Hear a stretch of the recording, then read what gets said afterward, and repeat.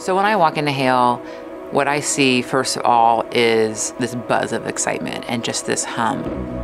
And I hear students, and it's like, this is a very important part of education.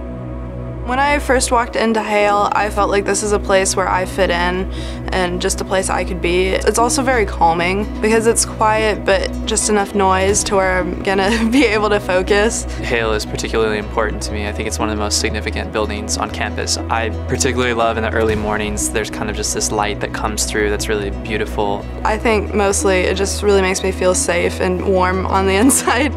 As you walk into Hale, the first thing you see is the library help desk and the IT help desk. You walk in, you're like, oh, cool. And we also have great academic librarians that can help you find research for projects and just help you with your classes. We also have branches. So Weigel Library is for the architecture. We have one for physics and math, Vet Med here on campus also has their own. And then of course we have K-State Libraries that's also in Salina. The atmosphere inside Hale is wonderful. You can go into the great room and it feels almost like you're stepping into one of the Harry Potter movies. My parents both went to K-State in the past and they used to tell me about their time studying there and so you can feel this great history in that space. We kept the older part, we kept the history of Hale is still there too.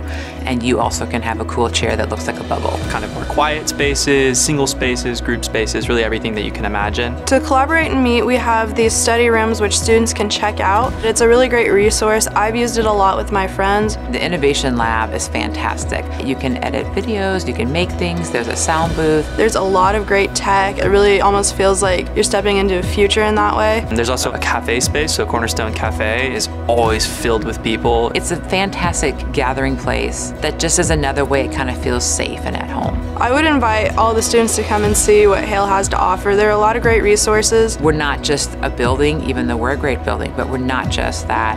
We're a lot of other things that we can help you with. And if you just pop online, if you just come into Hale, go into a branch and say, I need help, like we're on it.